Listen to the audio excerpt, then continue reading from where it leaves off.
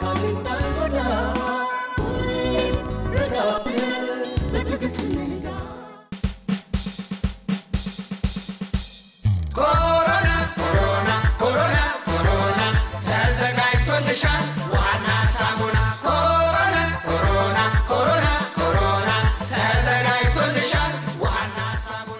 በአሁኑ ወቅት የዓለም ራስ ምታት የሆነው የኮሮና ቫይረስ ወረርሽኝ ያደጉና የተመነደጉ ሀያላን ሀገራትን ሳይቀር አንበርክኮ በርካቶችን በሞት እየነጠቀ ስጋቱ እያየለ መጥቷል። የኮሮና ቫይረስ ወረርሽኝ በሀገራችን ላይ በትሩን ካሳረፈበት ጊዜ አንስቶ የሚያደርሰው የጉዳት መጠን እንዳይሰፋ መደረግ የሚገባቸው የጥንቃቄ እርምጃዎችና የቫይረሱን ስርጭት መግታት የሚቻልባቸው መንገዶች በመንግስት በኩል ለሕብረተሰቡ እየተገለጹ ይገኛል። ይሁን እንጂ ለጥንቃቄው የተሰጠው ትኩረት አጥጋቢ ሊባል የሚችል ባለመሆኑና መዘናጋትና ቸልተኝነት በስፋት ጎልተው በመታየታቸው መንግስት ዜጎቹን መታደግ የሚችልባቸውን የተለያዩ አስገዳጅ ውሳኔዎችን እንዲወስን አድርገውታል። በዛሬው ፕሮግራማችን የትራንስፖርት አገልግሎት በሚሰጡ ተሽከርካሪዎች ላይ የአዲስ አበባ ከተማ አስተዳደር ያሳለፈውን ውሳኔና ገቢራዊነቱን በተመለከተ ያዘጋጀነውን መሰናዶ ወደ እናንተ እናደርሳለን። አብራችሁን ቆዩ።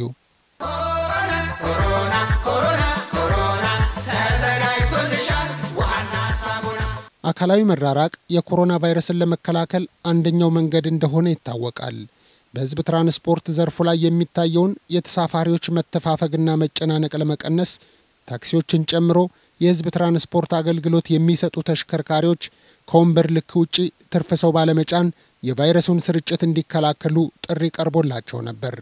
ይሁን እንጂ ጥቂቶች ይህንን ውሳኔ በኃላፊነት መንፈስ ተቀብለው ተግባራዊ ሲያደርጉ፣ በርካቶች ደግሞ የተፈጠረውን ዓለም አቀፍ ስጋት ችላ በማለት ተሳፋሪዎችን አጭቆ የመጫን ልምዳቸውን በመቀጠላቸው እንዲሁም በቫይረሱ የሚያዙ ሰዎች ቁጥር ከጊዜ ወደ ጊዜ እየጨመረ በመምጣቱ ጠንካራ እርምጃን የሚያስወስድ ሌላ ውሳኔ መወሰን ግድ ሆነ።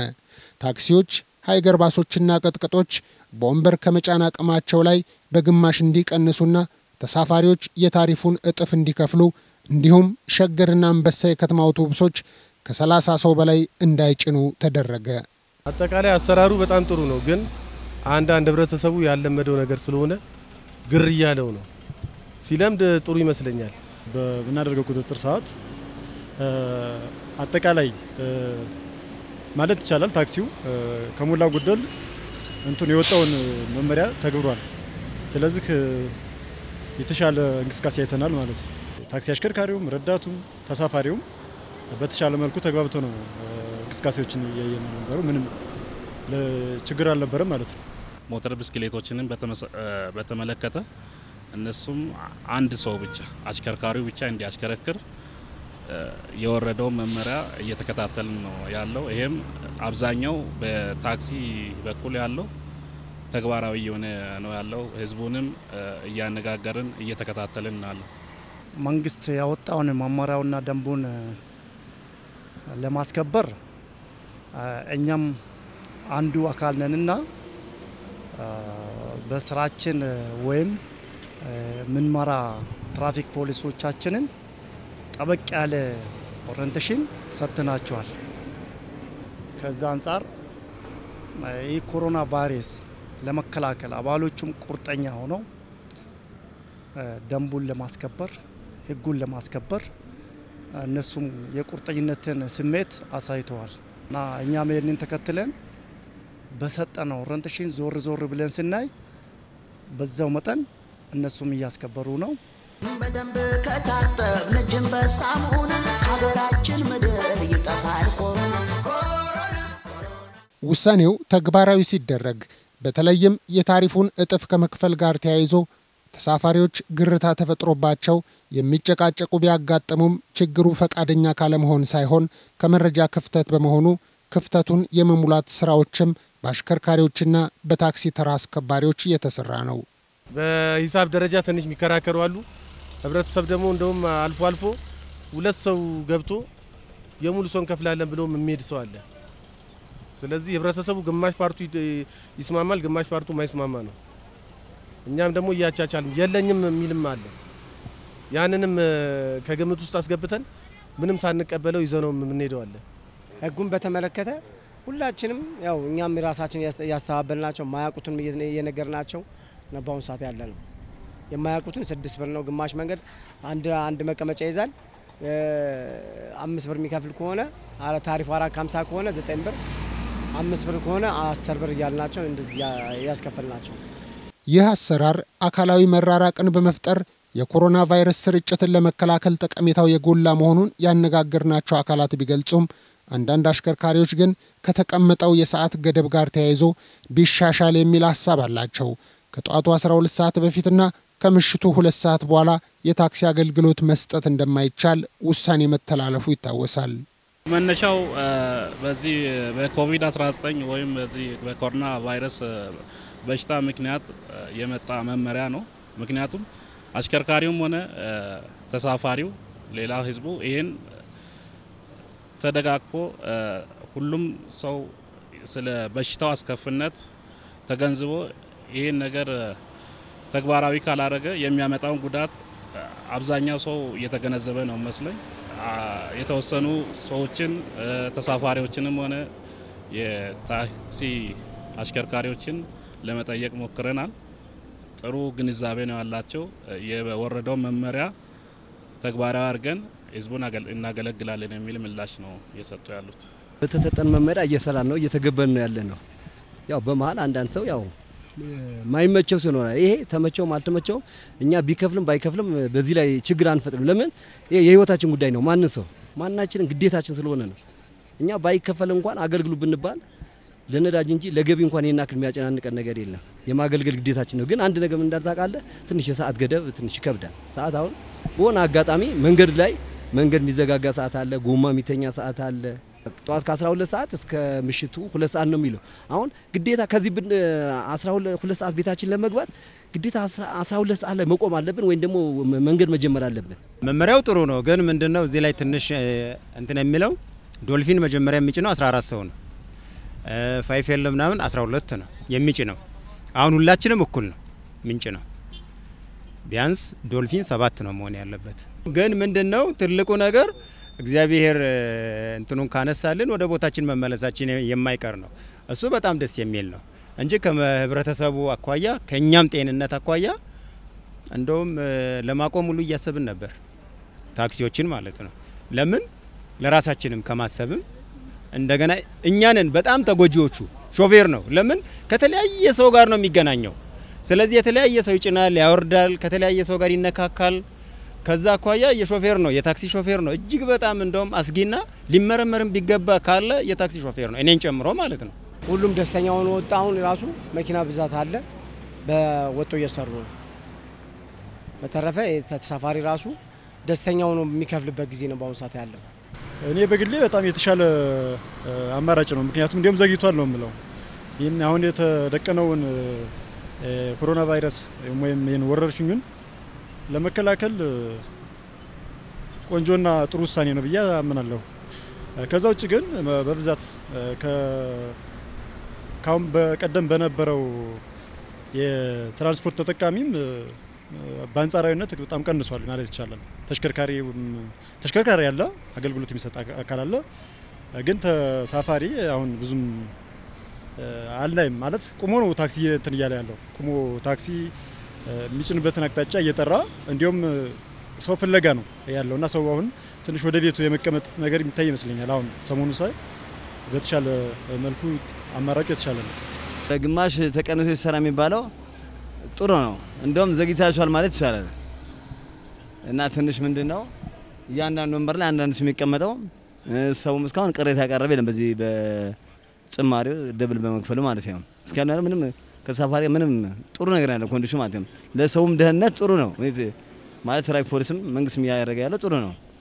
ትንሽ ቅሬታ ምንድን ነው በዚህ ይሄ ማታ ጠዋት እኔ አሁን ምሳሌ አንድ ሰዓት ጠዋት መውጣት ምንም ነገር ሆነ ማታ ሁለት ሰዓት ገባት ላይ ለሱ የምሰራለት ስራና ማታ እኔ ቤት ሄድኩ ከኮቴ ያክ የመጣው አስበው እንግዲህ። ስትገባ በባዶ ነው እንኳን እንደዚህ ሆነ አይደለም ሰዓት ላይ ታውጁብህ አይደለም። እንደዚሁ ራሱ ጭራሽ ነው የለም። ሰልፉን ተባለ እንደዚህ እንደምታየው እና ያ መቼም ያለው ነገር ለእኔ ጥሩ ነው የሚል ማስቡ እግዚአብሔር ይመስገን ለህብረተሰቡም ጥሩ ነው ለእኛም ጥሩ ነው ሰዓት ላፊ ማስተካከያ ማሻሻያ ቢደረግ ጥሩ ነው ብዬ አስባለሁ። እንደኔ እኔ ተመችቶኛል። ለምን በደብል ከከፈለ እኛም አንከስርም፣ ሌላውንም አንጎዳም። አሁን እንደውም መጀመሪያ ከሁለት ሰዓት በኋላ የሚባለው ራሱ አሪፍ ነው። መሽቀዳደሙ አለ፣ መጣላቱ አለ። እሱ ራሱ ስርዓቱን ይይዛል፣ ይቆማል ብዬ ነው ማሰብ። በጊዜ እንገባለን፣ አናመሽም። በጣም ደስ ብሎናል፣ ተመችቶናል። የአንድ ሰዓትና የሁለት ሰዓት ለውጥ ላይ ጥያቄ ባነሱ ጥሩ ነው። ምክንያቱም ሞት ለሁላችን ነው፣ ጤንነት ደህንነታችን ለሁላችን ነው። እነሱም ይሄ በሽታ ሲቆም በሰፊ ሁኔታ ተደስቶ ይሰራሉ። በሽታ እየተስፋፋ ህብረተሰቡ የተጎዳ በሽታ ላይ የወደቅን እንዴት ነው ለአንድና ለሁለት ሰዓት ሰዓት አነሰን ብሎ ጥያቄ የሚያነሱት? ተገቢም አይመስለኝም በበኩሌ። ምክንያቱም ዜጎቻችን ናቸው። እስከ ሁለት ሰዓት ከሰሩ አሁንም እኮ 12 ሰው ወደ ስድስት ሰው መመለሱ አንድ ሰው በይጥፍ ነው የሚከፍለው። መንገዱ የብር ከሀምሳ ከሆነ ሶስት ብር ነው የሚከፍለው። ምኑ ነው የተጎዳው?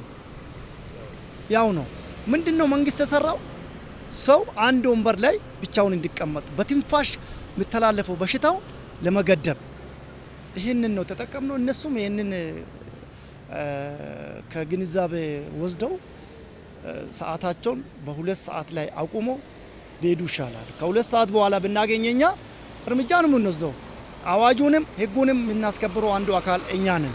ከዚህ አንጻር እነሱም ሰዓቱን አከብሮ ከሁለት ሰዓት በኋላ የሚመጣ ሰው ሁሌ ተሽከርካሪውን የማቆም ስራ ነው የምንሰራው። ሳልና ማስነጠስ መኖሩን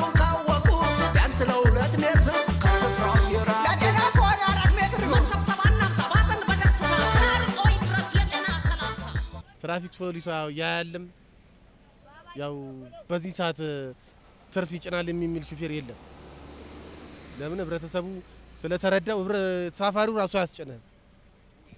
አዎ በዚህን ሰዓት ተሳፋሪው አንደኛ over ከፍሎ ነው እንትን የሚለው የሚሄደው፣ ሁለተኛ ለራሱም ጥንቃቄ ስለሚፈልግ ትርፍ እንኳን ልጫን ብትል አያስጭንህም።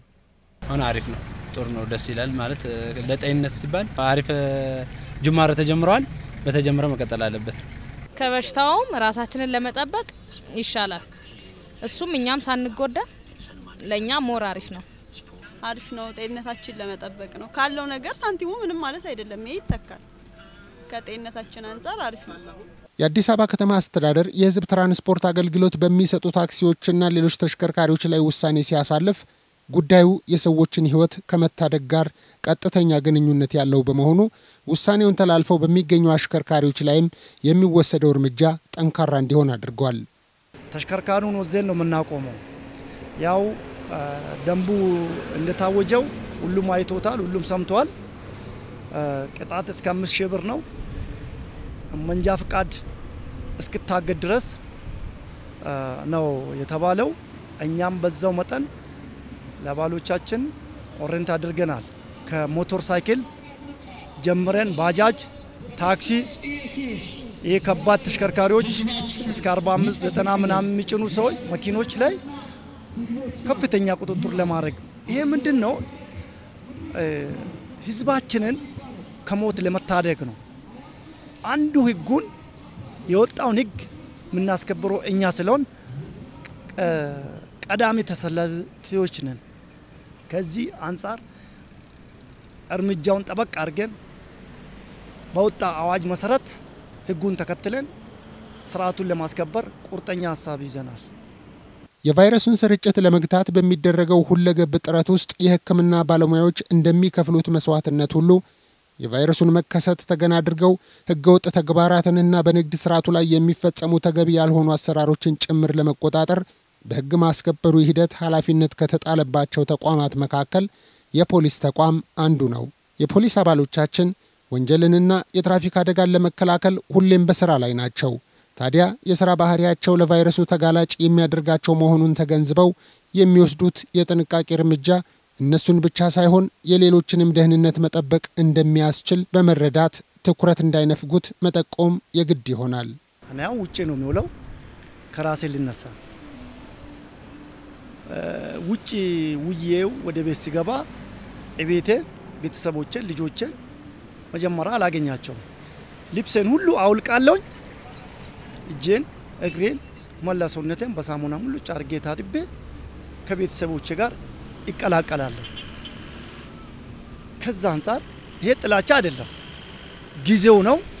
በሽታውን ለመገደብ ቤተሰቦችም በጥሩ ሁኔታ እንዲገኙ የመከላከል ሲስቴም ነው ለኔ የመጀመሪያ። እጄን ይታጠባለሁ፣ ሰውነቴን በሙሉ ጥርት አድርጌ ተጸዳድቼ ነው የሚገባው። በተለየ መልኩ ይሄ መንግስት እያወጣው ቀን በቀን እያወጀ ያለውን ህግና ስርዓቱን ተግባራዊ ማድረግ ከኛ ይጠበቃል። ትልቁ ዋና ሚዲያ መስማት ነው። ጤና ሚኒስቴር በቀን ብዙ ጊዜ ነው ሪፖርት እያቀረበ ያለው። ይህንን መከታተል፣ መስማት፣ ተግባራዊ ማድረግ ነው ከኛ የሚጠበቀው።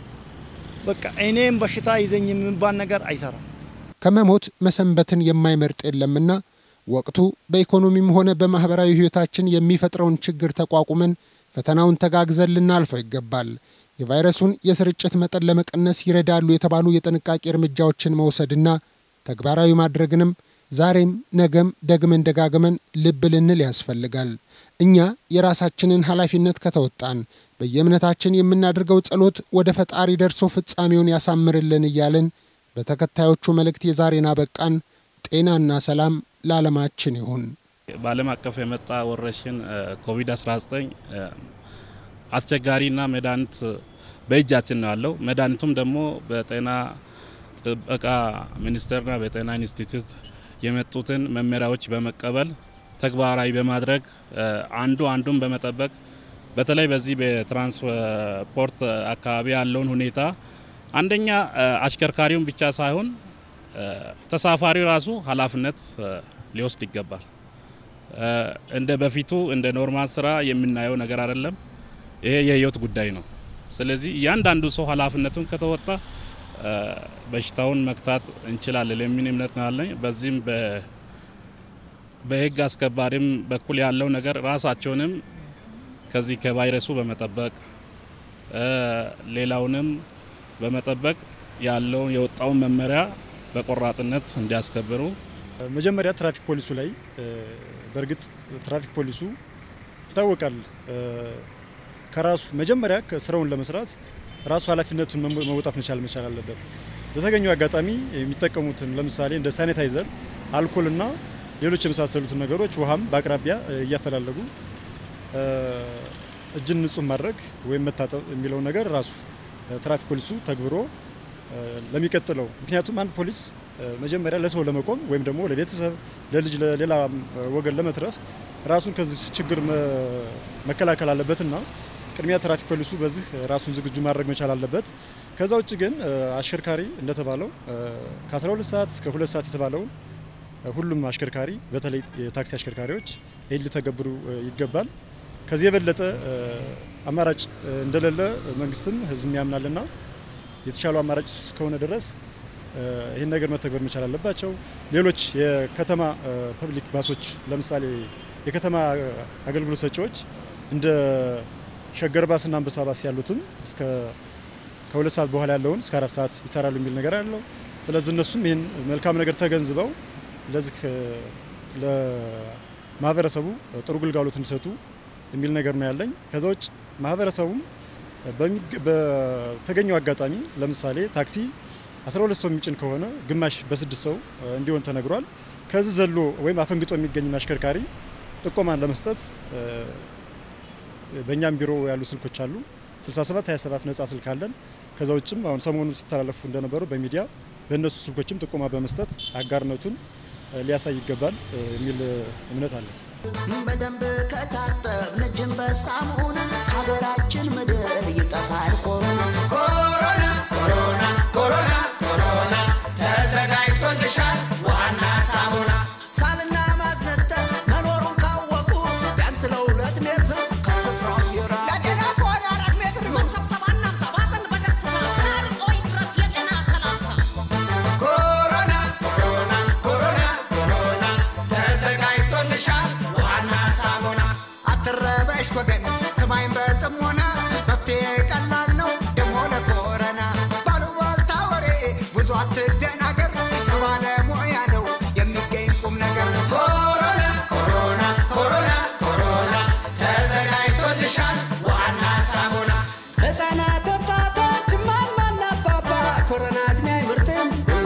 ሲገባ ወገን እናስተውል ተዋንዘና